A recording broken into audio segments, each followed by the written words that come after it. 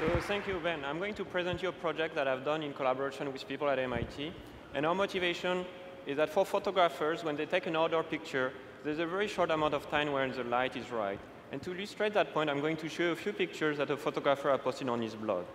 And for instance, here's a scene where the lighting has nothing special.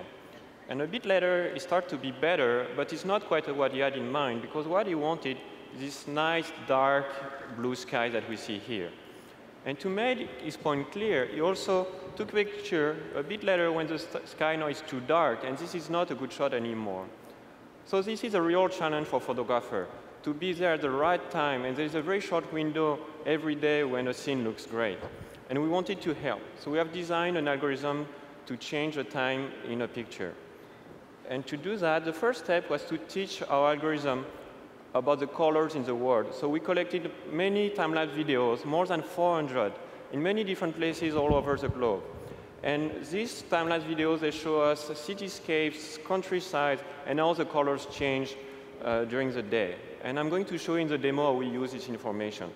So let's look at an actual demo. So I'm going to show you a picture of Singapore.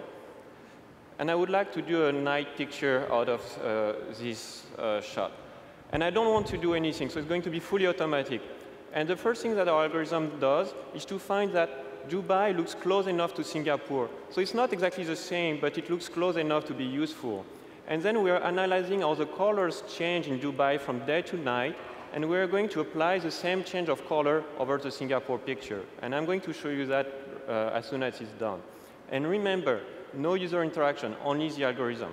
So let's look at it. One picture, no user interaction.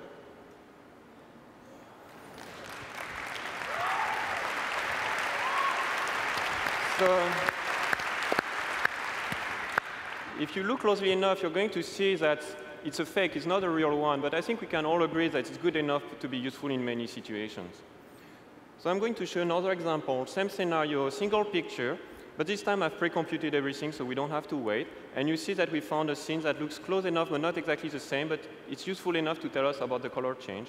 And also one difference here is that instead of computing one time of day, I counted all the possible times. So what I have is a video that go from day to night. So the first thing I can do is that is actually to show you what this would be during the day, like this one. But where it starts to be powerful is that I can actually control everything I want and choose exactly the time of day I want from this single picture. Ah. No user interaction beside what you see me doing right now.